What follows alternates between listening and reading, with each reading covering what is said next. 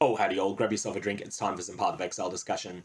Patch 3.18 spoiler season is here and includes a Mageblood divination card amongst a bunch of other information. Today, GGG revealed all of the divination cards that are being added to the game in 3.18. An important caveat, this is just the things being added, it doesn't include change divination cards, and I know that they're changing my divination card, the Price of Protection, I know they're changing the divination card, the Hook, and we will see what exactly happens there. That's all the divination cards that got broken by patch 3.17. Every divination card that grants a specific tile set of map was broken by that patch, and so we'll see what happens as far as those go, but I expect they'll be in 3.18. So firstly, we have Altered Perception. This is a divination card that grants a simulacrum. And there's also a very similar card just under it, which is a Fate Worse Than Death, which is a, a card that grants a Cortex. These divination cards that grant access keys to specific capstone content are particularly scarce in general. That's been my experience with them, and I would expect that these cards will be no different. These are not going to be things you can acquire yourself in solo self-found very often, although I'm open to being proven wrong on that. And they did have the divination card for a synthesis map, which was made quite common in patch 3.17. So maybe they've changed their mind on that, but most of the previous ones the divination cards for pure breach stones, the divination cards for for Uber Elder fragments and things like that are things that you don't generally self-compile a set of. So we'll see how rare they end up being, but these will definitely be a significant factor in day one on a trade league. Day one on a trade league, these divination cards are going to be dropping for people who open stack decks. A lot of stack decks get open day one, and there'll be some of these cards coming out of them.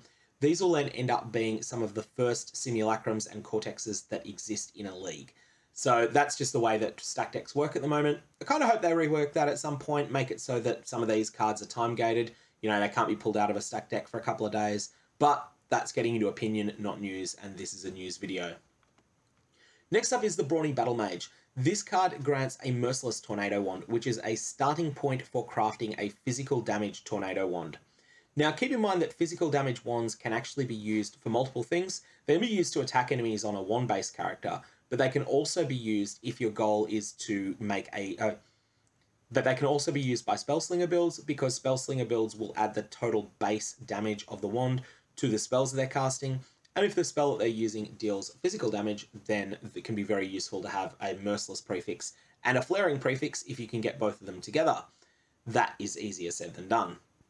This is a powerful starting point for crafting, and there's a number of other divination cards that grant merciless weapons of specific types. This will join in with all of those and be probably of the same rarity as things like the Merciless Armaments divination card. Next up is Darker Half. This is a set of three for five Eldritch Chaos Orbs. This is going to be a really interesting card. If you can get your hands on it early, Eldritch Chaos Orbs are something that are very powerful for early crafting. Although having only five of them may not be enough to do anything really significant, you can definitely improve an early piece of gear that you get that might have, say, an incursion mod on it. So this divination card will be really good because Eldritch Chaos Orbs are really good early in the league. That said, we're going to have to figure out where it drops. Who knows? Could drop from a boss or it could drop from a tile set drop.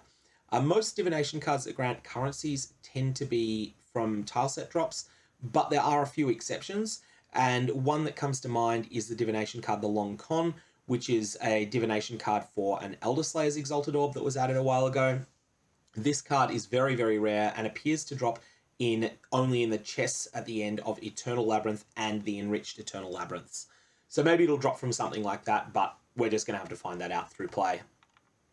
Next is the Forward Gaze, a divination card for a replica unique. These are the high specific unique items there are so, so, so many of them, and I'm really happy to see a divination card for them.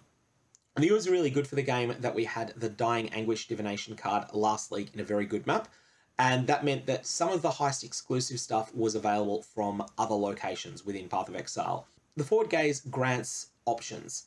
If you like heist, then the best way to get your replica uniques is going to be through running Grand Heists and getting them that way. But if you don't like heist, then the Forward Gaze grants an alternative source of these items. This almost certainly respects the relative rarity of these items, but it's worth pointing out that with the replica uniques, there's a number of quite common ones, and I'm thinking here mostly of Replica Conqueror's Efficiency, which seems to be in the bottom rarity tier. Seems to be in the most common that you can get among them. There's a number of really common ones that are really popular and really, really good items. So for that reason, I think the forward gaze is going to be a great addition to the game. I really hope that this drops in as a tile set drop in a fairly popular map. Like I would love to see this dropping in Mesa or City Square. I think that would be a really, really positive thing. Next is from Bone to Ashes. This grants a double corrupted Ngamahu's Flame. Now here, we're going to have to quickly mention opportunity cost. There is a reason people don't double corrupt Ngamahu's Flame very much, and that's because the double corruption altar is a precious resource, and you generally speaking want to use it on the things that give the very, very, very, very, very best possible results. So things like Call of the Brotherhood are very popular choices for double corruption. However, Ngamahu's Flame is something that is a unique item that's often used, uh, including at endgame. It has always had a build or two around it, and also it's something that can benefit a lot from getting the right Vaal mods on it. For that reason, I'm really happy to see a divination card for Ngamahu's Flame double corrupted, and this card could well be pretty self-farmable. Some of the past ones, there's a Fidelitas' Spike divination card that's too implicit corrupted that's actually pretty self-farmable. There's a Facebreaker one that doesn't seem to be self-farmable, although I could be wrong. Maybe it's just that I hate the dungeon tile set so much that I haven't run that uh, that enough to see that the Unchained Divination card might be more common than I think it is. Lastly, with a name like From Bone to Ashes, it, it feels like it's going to be a tile set drop in zones like Crematorium. So we'll have to see. I'm just speculating there based on the name, but that really seems like it's where you would expect it to drop. So Further Invention is the next card, and this also is in that same category of opportunity cost. Further Invention grants an item that you, to make yourself would require an Awakeners Orb, but that is never going to justify the use of an Awakeners Orb, because Awakeners Orb have more powerful use cases. There's a number of other divination cards that grant double influenced items as well, and most of them see some use as crafting bases, and particularly as something that people will uh, source early in a league in order to then apply all sorts of Harvest Reforged crafts to. I think people will have a lot of fun with this. Thematically, this really looks like it's linked to the Black Star. The artwork just absolutely captures the feel of the Black Stars arena. Even though it's green and red rather than blue and red, it definitely just feels like Black Star. And so I'm going to speculate, uh, without any proof, I'm going to speculate that it's going to drop from the Black Star. And if it does drop from Black Star, it doesn't need to be a very rare divination card. It could be something that drops one in five runs, and there'll be a fair number of them going around in a trade league economy, but they won't be staggeringly rare. Of course, I'm just guessing there based on the artwork. I could be very, very wrong. The next divination card is probably going to be a lot of players' favourite in this list, and that is Home. So what is an exceptional gem, you're asking? An exceptional gem is Enlighten, Empower, or Enhance at the time that I'm recording this video. There may be new ones added in the future, but this is going to give you one of those three cards with equal rarity. It's going to have a random quality anywhere from 1 to 20, but that's not the reason you care about it. You care about it because it's an Enlighten, an Empower, or an Enhance. All of these are very, very, very, very, very, very, very rare, and they're somewhat chase items now. That's a change that happened a couple of leagues ago, but they're all somewhat chase, and they're definitely something people want to get their hands on. This is simply going to put more of them into the trade league, but also I think this is going to be loved by solo self-found players, assuming that people are able to, uh, to target farm this in any way. I think you'll see a lot of target farming of this early, not necessarily from more casual solo self-found players, but from people that play leagues enough to finish leveling and enlighten, to finish leveling and empower. They will probably target farm wherever home drops very early in the league. Next up is Rebirth and Renewal, a divination card for a Winged Scarab. Scarab divination cards have generally been very, very rare. And so we're going to have to see how rare this one is. But all of the other ones, like More is Never Enough, are much rarer than you would expect based upon how common Scarabs are now. A lot of their drop rates seem to have been set based upon how rare Scarabs were in 3.5. Even well before 3.17, Scarabs were getting much, much, much more common than that. So we'll have to see how Rebirth and Renewal feels in practice. I do feel that this might be something that people just uh, trade for because they don't feel like they can compile a set of themselves, but we'll see what happens. Uh, next is the one everyone cares about the most, the Apothecary, at least if you're a Trade League player. Mage Blood is one of the most expensive unique that can drop anywhere in the game, and generally speaking, it's the most expensive unique, excluding ones that only a few people want. So Stasis Prison is often the most expensive unique in a league, but it's not very widely wanted, whereas Mageblood is pretty universally wanted, pretty universally good on characters, and is, yeah, arguably the strongest belt in the game for anyone that's fighting bosses in Path of Exile. This is a set of five, and we don't know anything really more than that about where it's going to drop. However, one thing that I would say about this divination card is that it is probably going to be 160% the rarity of the divination card, the Doctor. The Doctor is already a pretty rare card, a very rare card, but it's not actually one of the rarest cards in the game. The reason I say that is that Mageblood and Headhunter have appear to have the same rarity as monster drops in the game. Mageblood, Headhunter, Reefbane, the that's the main fishing rod, and the Squire are all, all belong to a class that the, the community calls tier zero uniques, and these appear to be the same rarity as each other. Usually, when there's two items that have the same rarity as each other, and there's a divination card added, the relative rarity of those cards is relative to the set size. And so, for that reason, I expect that you would see five apothecary drops for every eight doctor drops on average if they were to drop from the same content. Now, they definitely won't drop from the same content, but where the apothecary drops is just going to be something we're going to have to discover over time.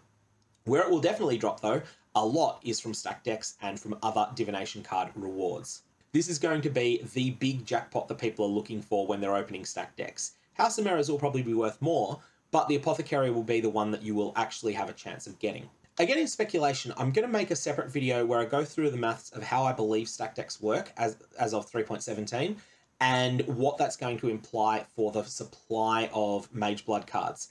However, it is my initial thought that this divination card is going to roughly double and a half the supply of mage bloods in the league. So it's going to be a big deal.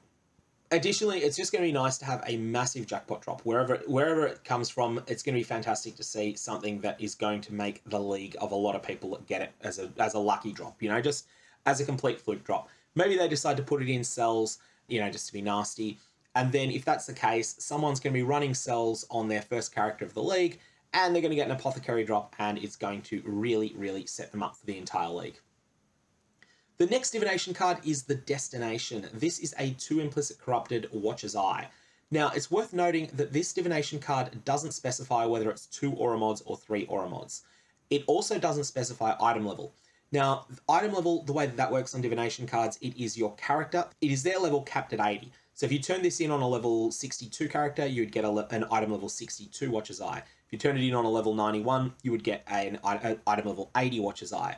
Now, in terms of Watcher's Eyes that drop from monsters, they will either be item level 85 or 86. Item level 85 ones have dropped from the Elder encounter, item level 86 ones have dropped from the Uber Elder encounter, and so they have two and three aura mods respectively.